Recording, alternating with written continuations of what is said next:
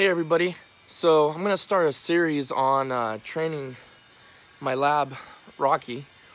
Um, I kind of hesitated on doing this because I didn't think people would be interested, but whether or not, if you guys are, um, it's something I'd like to keep personal record for myself, so I'll put it up on YouTube, and if anybody likes to enjoy it and follow along, then you're more welcome to, and uh, appreciate it if you subscribe, if you want to see these videos. Um, gonna be, there's gonna be more later on, obviously, because he's uh, he's almost 10 weeks. On Tuesday, he'll be 10 weeks. So I'll show some clips here right now, here in a second, and you can watch those and see what so far what we've done. But definitely, there's gonna be a lot more. So I have decided to I have picked who I'm gonna use to train my dog, Chris Akin's uh, methods, and I got the.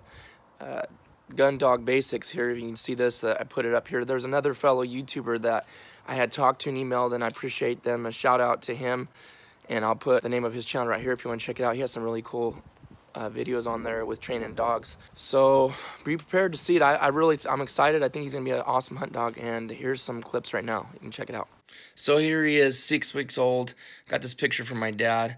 And then we did a little training here at first when I first got him, but he's just young, just for fun. Just letting him kind of play around with the green teal.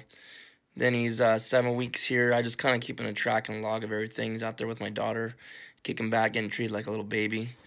And also my wife's sitting here treating him like a baby. But anyways, he loves to be around. Now he's, getting a little bigger.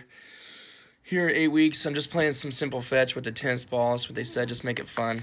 Not no hard work. I'm just, like I said, I'm just copying what uh, Chris Akin said to do. Just following his methods. I know some out there may say, oh, this you got to do this and this and this. But I'm just going to stick with him if you have comments, that's fine. If you want to say anything, I, I don't take no offense to it. I, I always have my ears open, always willing to learn.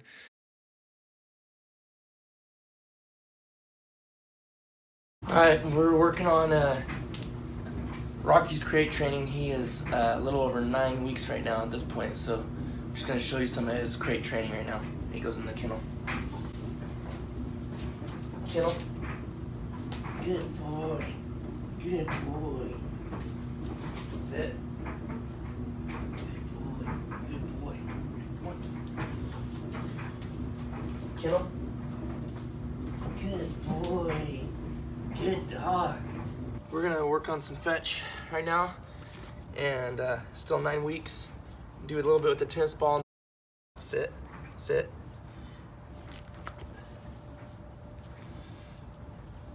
Good boy. Good boy, Rocky. Good boy. Good boy. So I'm just getting the ball a little bit farther and farther out there for him. He's doing really well. He's getting out there fast, and he's keeping his eye on it a little bit better. So anyways, thanks for watching, guys. Don't forget to like and subscribe.